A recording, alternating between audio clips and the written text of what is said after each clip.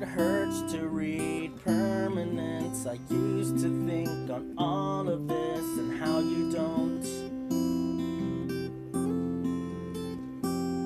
Damn, it's hard to find sustenance when all I had was love for this, and now you don't.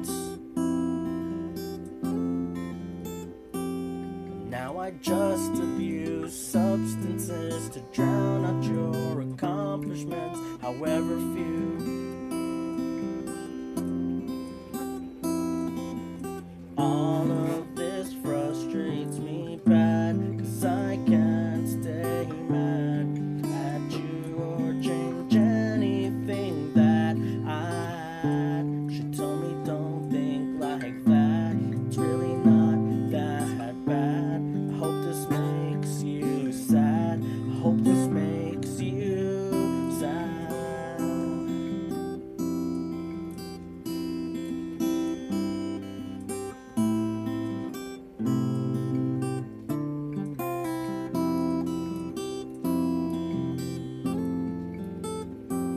Something serious, then hit me up. But until then, the door is shut. Forget my room.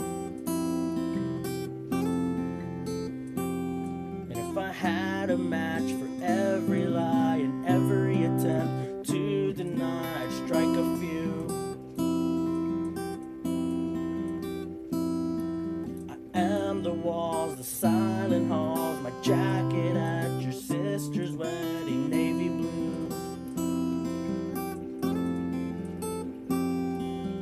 All of this frustrates me bad, cause I can't stay mad.